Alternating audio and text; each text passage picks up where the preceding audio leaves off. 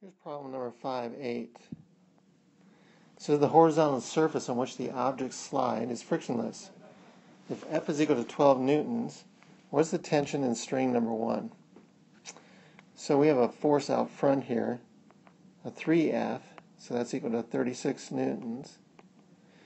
And we have a force over here of 2F, which would be 24 newtons.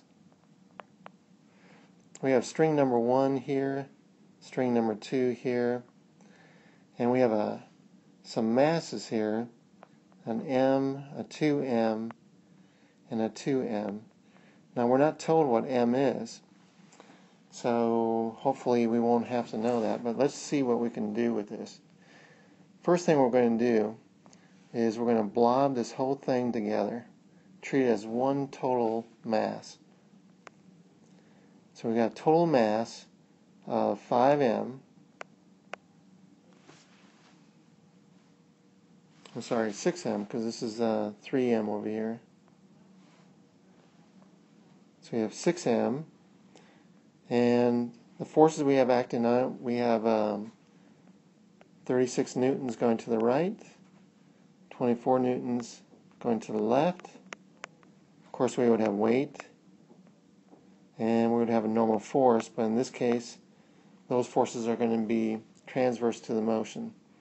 So as a result of all these forces, this thing is going to manage to accelerate to the right in the positive x direction, and the forces we need to consider are these 36 newtons and this 24 newtons.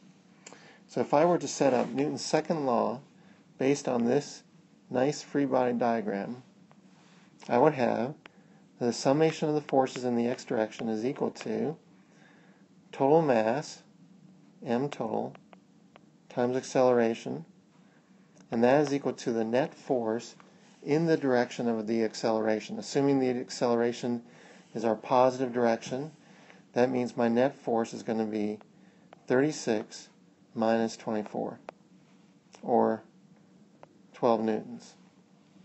So the acceleration is going to equal 12 divided by the total mass.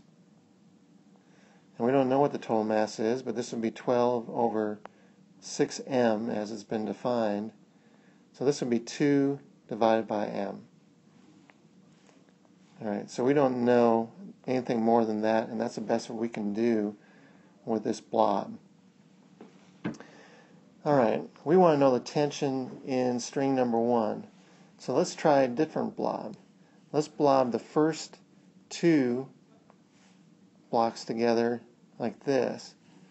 And hence, if we did a free body diagram of just those two blocks together, total mass of 3m, then the external forces acting on it would be, well, we'd have 24 newtons going to the left, because we still have that force on the left.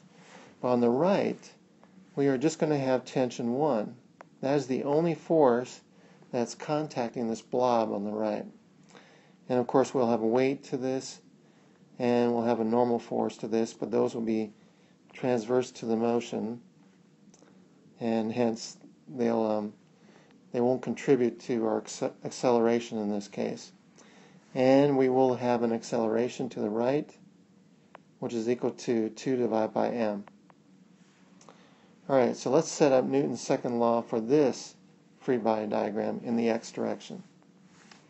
We're going to have the summation of the forces in the x direction is equal to our total mass times A. And in this case, that's going to equal the total force in the direction of positive acceleration.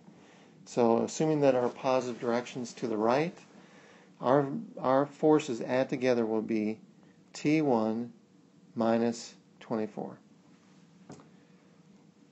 So, solving for T1, we're going to have T1 is going to equal our total mass times the acceleration plus 24. Well, our total mass is 3m, and our acceleration is 2 divided by m. And then we have plus 24. So in this case, the m's cancel out. So we didn't have to know what the mass was. They cancel out here. We're going to end up with 3 times 2 So we'll have 6 plus 24 or 30 newtons. So that is the tension in cord number 1, 30 newtons. Now we didn't have to do the blob this way. We could have focused in on the other 3M mass and did a free body diagram of it. Now if we notice that we got a 36 Newton force going to the right and tension 1 in this case would be going to the left. If I set up Newton's second law just in the x direction for this, knowing that the acceleration is 2 divided by m, and of course we would have weight and a normal force. The acceleration is to the right in the x direction. So we're going to have the summation of all the forces in the x direction is equal to our total mass times acceleration, and that will equal, in this case, the total force in the direction of positive acceleration. So that'll be 36 minus tension 1. Solving for tension 1, we'll have tension 1 is equal to 36 minus our total mass times acceleration. So that's going to be 36 minus, and our total mass was 3m. Our acceleration is 2 divided by m. m's cancel out. So we're going to have 3 times 2 is 6. This is going to be 36 minus 6, or 30 newtons. So it doesn't matter how we look at this, as long as we set up the proper free body diagram for whatever object we're looking at, we can calculate the tension in that cord number one.